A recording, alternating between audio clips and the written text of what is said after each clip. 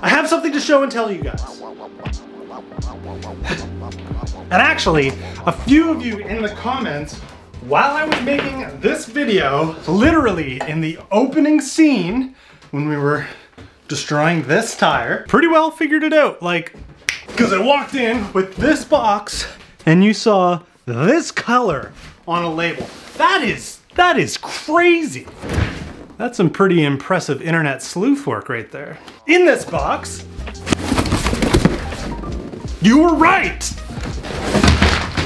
A pile of Panaracer Gravel Kings sent to the channel for the absurd amount of bikes that we have here that require tires from time to time. Allow me to tell you a story. Not a good story, but it's a story nonetheless. So I get a message on Instagram with a link that says, hey, check this out. Panaracer is looking for ambassadors for their tires, their brand. My God.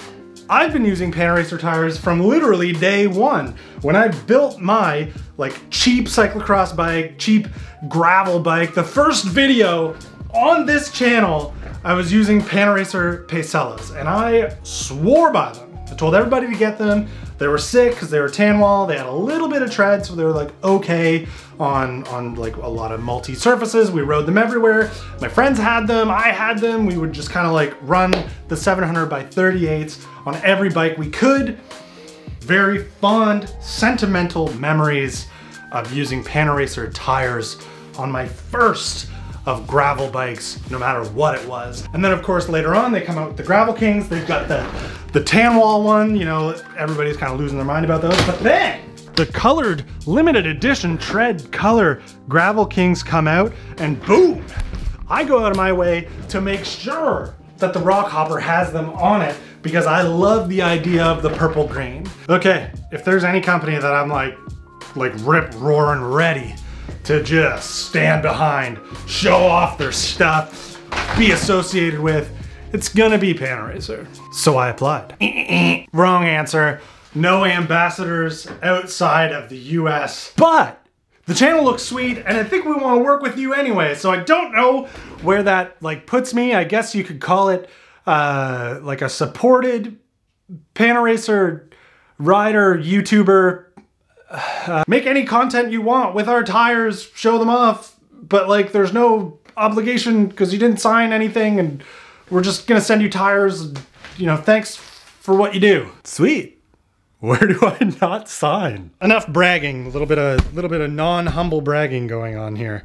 Just a little excited. Anyway, okay. The first bike that I wanted to that I wanted to solve trackocross issues with is the Poseidon trackocross bike because as some of you who are more interested in the fixed gear off-road side of the channel may or may not know, um, this thing has tubes in it again, which is hugely to the detriment of any true trackocross riding. So I'm going to remedy that literally right now.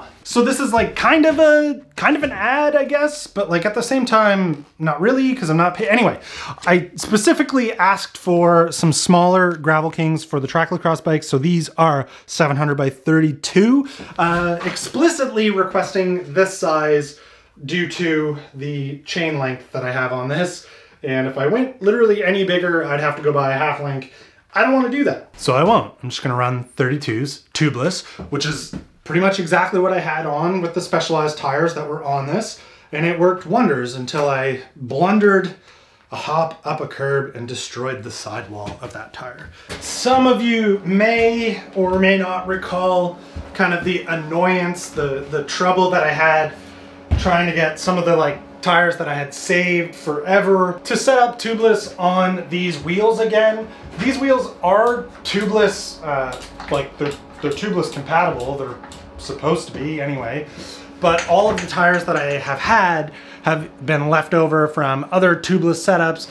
Bunch of sealant kind of like built onto them, so all of the suppleness was gone. The sealant was so thick, dried up on the sidewalls, couldn't get the sealant off, so they wouldn't take on this. And then these tires, the small block eights that are on here, are uh, they're wire casing, like so they're not tubeless either, and they were giving me a really hard time. So these being folding gravel kings should just go on plenty tight, pop right onto the bead, and uh, give us no trouble at all. I truly expect the rear to give me the lion's share of tubeless setup issues. So I'm gonna go for it first because it's got a bunch of dents on it. It's kind of the one that gets beat up the most, so. I've always had pretty good luck with Panaracer tires going tubeless, so this should be no different. So they're definitely tight. Gonna be loud here in a second.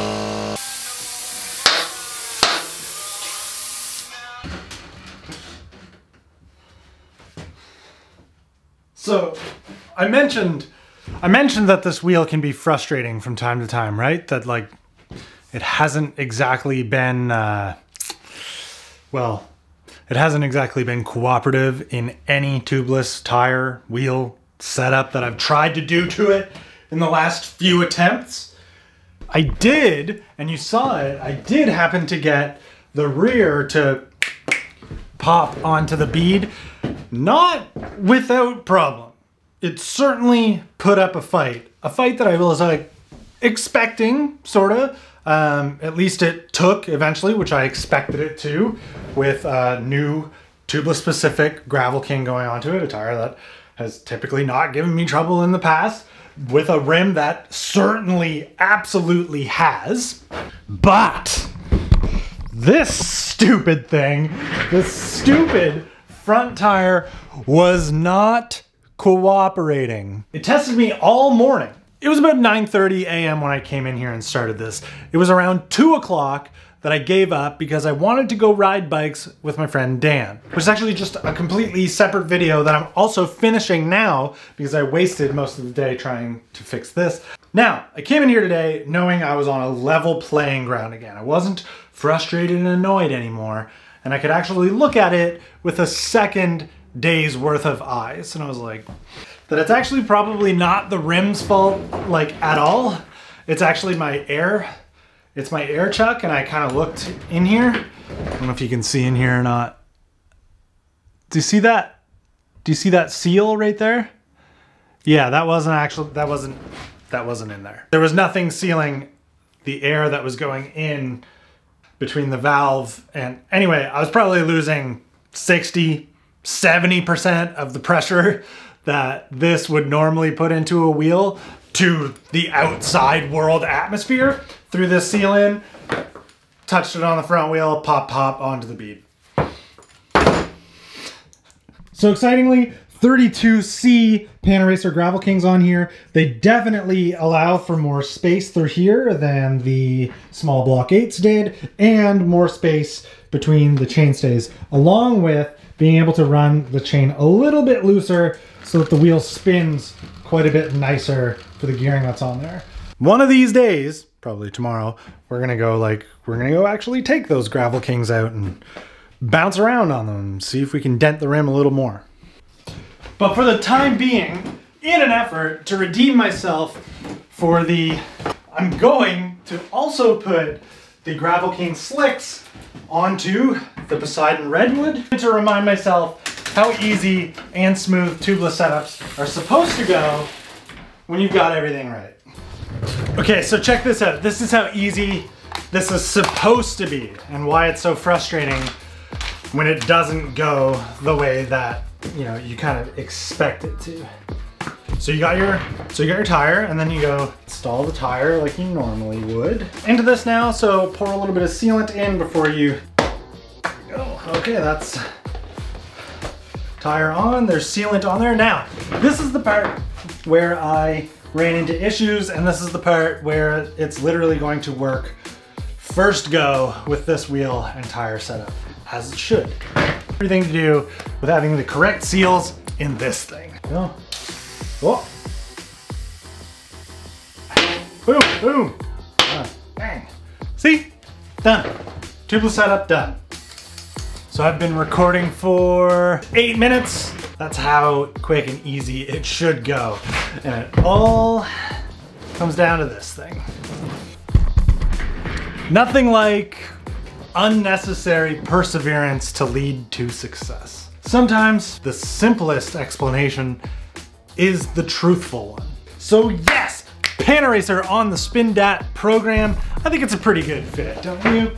Resurrecting, bringing back the former glory that is the tubeless, the tubeless setup on the trackocross bike. The only way to ride a trackocross bike. So if like you're interested in using Panaracer tires, like I always have, um, they're linked in in below. You can get them through like Amazon links. You can get them direct through Panaracer. Um, we will certainly be talking about this more. Thanks for watching the channel. It's literally the thing that makes stuff like this happen.